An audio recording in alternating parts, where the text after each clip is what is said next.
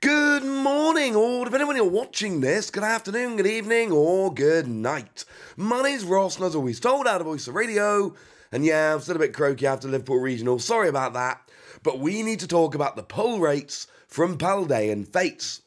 Now, shout out before we get going here to the lovely folks over at TCG Player who have gone and put this information together. I say lots of good things about TCG Player. We use their information in a bunch of videos. It's not really somewhere I can buy from because in the UK that's just a bit awkward. But certainly in terms of using TCG Player to see what cards are generally selling for, trends, and all of that good stuff, TCG Player are pretty awesome. So shout out to TCG Player. They're the lovely folks who came out with this information. Now, it's based on 1,500 packs, which is not a ridiculous sample, it is a decent sample. Obviously, it might not be absolutely perfect. They opened over 1,500 packs, and this is what they got in terms of pull rate. No one is pretending this is 100% guaranteed to be perfectly accurate.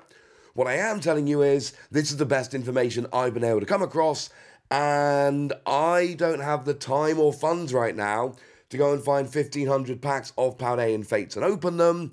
So for that reason, yeah, we should probably use theirs. Now, starting off with illustration rares here, they have got illustration rares as a 1 in 14 packs, or if you want a specific illustration rare, it's 1 in 42. Now, I really appreciate this because I've seen lists like this in the past that have tried to differentiate pull rates of different cards of the same rarity. And as I told you in those previous videos, and go check out my videos, it's all there on tape, it made no sense. It makes absolutely no sense that you would have cards of the same rarity with different pull rates. That's ridiculous. They get printed on sheets. They'll print the same amount. The pull rates will be exactly the same. That's how printing works. So this is the first time I can remember seeing a list where they go, you know what? 1 in 14 generally, 1 in 42, 3 times 14, if it's a specific one you want, because there are three different ones. This makes me happy. Although 1 in 14 seems a bit low, boo, etc. Remember, there are only three that are actually available in packs. That's your Wugtrio, your Pawmi, and your Palafin. So, yeah. Sorry about that. But look, if you want one of these, open 14 packs, you should get an illustration rare. Bearing in mind, if you go and buy yourself an Elite Trainer box, you're going to go and get nine packs. Well, that kind of tells you what you need to know. Obviously, your Pokemon Center exclusive Elite Trainer box will give you 11. But having said that, if it's 1 in 14, 11 booster packs still doesn't actually give you one of them. You have been warned. But these are actually a lot rarer than your shiny cards. So if you take your regular shinies, not your EXs, just your regular shinies, they come out 1 in 4 packs. But if you want a specific one, it's 1 in 472. Because there are, of course, many, many, many different ones out there. So, yeah. It's going to be 1 in 472 if you want a specific shiny card. But if you want any shiny card, it's one in four packs. Obviously, we all know by now that by far the most sought after among them is going to be your Pikachu, and then Charmander is going to be second. I showed you that when I showed you the top 10 most valuable cards the other day, and honestly, we, we could have predicted this. Pikachu, Charmander, we kind of know the deal by now at this point, don't we? That's how it works. They are always going to be the most popular, the most sought after. Phrase it how you will. They are going to be the big two. They always are. That's how we do. But also, a couple important points here. Firstly, if you buy something like an Elite Trainer box, you should get a couple of shiny Pokemon. That's awesome. But secondly, trying to pull the specific one you want is going to be very difficult. Like, I am a big, big fan of Hawlucha. And I think the Hawlucha is awesome. But I'm not going to actually try and pull the Hawlucha from a pack. And if I do, I'm obviously going to only open a bunch of packs very soon. If I do, brilliant. That's going to be amazing. But I'm not going to rely on that because, you know, I'm probably not going to be opening that many packs. Oh, as a side note, I am going to be opening a bunch of packs on Whatnot, though. I'm going to be doing an opening. The plan currently is Friday. I'm a bit ill at the moment, so we'll have to see if Friday actually works. But my goal is to open a bunch on Friday.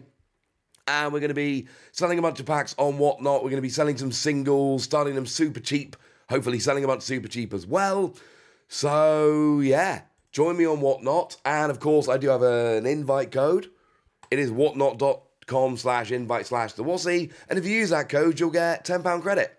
And I'll get a kickback.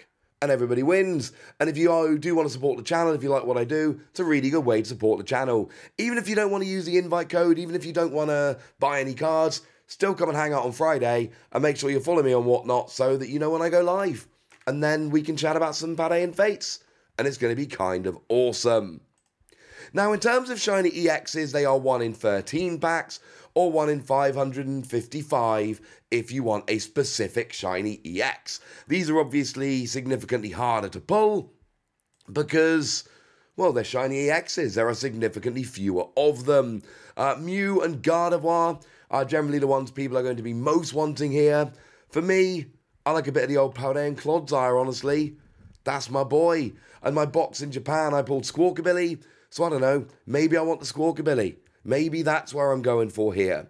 Either way, these are very cool, and they're really not that low pull rate. I mean, Shiny EX is a 1 in 13 packs, Illustration Rares are 1 in 14 packs. So actually, these are a little bit more common than your Illustration Rares. Of course, there are also a bunch more of them. Now, after that, we get to your ultra rares. Really, we're talking full art supporters here. And these are 1 in 15 for any or a specific. It says 1 in 76. But I think that's a typo. I think they mean 1 in 75. Because there are five versions of them. We got Clive, we got Judge, we got Nemona, and then we got two different Paldean students. That makes five. 5 times 15 is 75. So I refuse to believe it's 1 in 76 to get a specific one. I'm pretty sure they actually mean 1 in 75, and that's a typo. But you know what? Yeah, that's not bad. Now, I'll be honest with you, I don't really want any of these that much. Paldean students probably the most. But look at some of these pull rates. We've got shiny EXs, 1 in 13. Illustration rares, 1 in 14. Full art trainers or full art supporters, 1 in 15. All of these are decent pull rates, and you, you're not guaranteed to get one of each of these in, say, an Elite Trainer box, but you shouldn't be too far away. And then we get to the big dudes. Special illustration rares are 1 per 58 packs, or a specific one is going to come around 1 in 465. And this, this is where you're really going to be getting the big hits from the set. And the big hits are all here. Your Mew, that for me is a great one. You got the Uzgumon with the amazing artwork, Mew's great, and everyone loves Mew, and it's really playable. It's awesome. We've got Gardevoir, which I don't like as much, and it's not to say it's a bad card. It's a beautiful card. I'm just saying compared to some of the others. You've obviously got your Charizard, which for a lot of people is going to be like the card. And certainly, as I showed you the other day, from the early prices, this seems to be the most expensive card in the set. And then you've got the Iono, which, you know, it's Iono. Everybody loves Iono, so having that one as well in there, pretty big deal. And then Penny, who, you know, Penny's pretty cool as well. There are a couple of others. My point is, this is where the quote unquote money cards from the set come in. This is where the big cards from the set come in. So, 1 in 58. It's a bit lower pull rate than you would like. But you know what? These are the really good trademark cards from the set so I can kind of understand it. And then finally, your gold cards come in at 1 in 62 packs, or 372 if you want a specific one. And you know what? I'm a little bit surprised about this. Because I honestly thought these were going to be a little bit more common than the special illustration rares. I thought they were going to be easier to pull. And according to TCG Player here, they're not. According to TCG Player, these are actually the rarest cards in the set which surprises me a little bit, frankly. They're certainly not the most valuable cards in the set or really the most sought after. And don't get me wrong, like Miraidon is a cool card, and the gold version of Miraidon is awesome, and a lot of people are going to love it. But do you want to pull gold Miraidon or do you want to pull Charizard? Or do you want to pull Iono? I know which one I want to go for. So I'm not saying the gold cards are bad by any stretch of the imagination, but I absolutely am saying they are not the most sought after cards in the set and I really am surprised that they've apparently got slightly lower pull rates than the special illustration rares. Right, that's what you need to know, ladies and gentlemen. And now it's over to you guys. One more shout out to TCG Player for opening all the packs and providing the information. Those dudes are awesome. And do make sure you come and check out my Whatnot stream because look, we're going to be chatting some Pokemon. Come chat some Pokemon with me, it'll be fun. And yeah, tell me what you think about these. Tell me if you're surprised. Tell me what your chase cards for the set are. Tell me what you've already pulled from your packs. Let me know in the comment section. guys. Be nice. And then make sure you like this video, subscribe to this channel, follow me on Twitter at the Wasi. That's where we talk about Pokemon and a whole bunch of other card games. And please do consider checking out patreon.com slash ptcgradio, where you can support the channel, get some bonus podcasts and all kinds of fun things. But by far the most important thing as always, look after yourselves till next time, would ya? Thank you very much for watching. Name's Ross, and you've been watching PTCG Radio.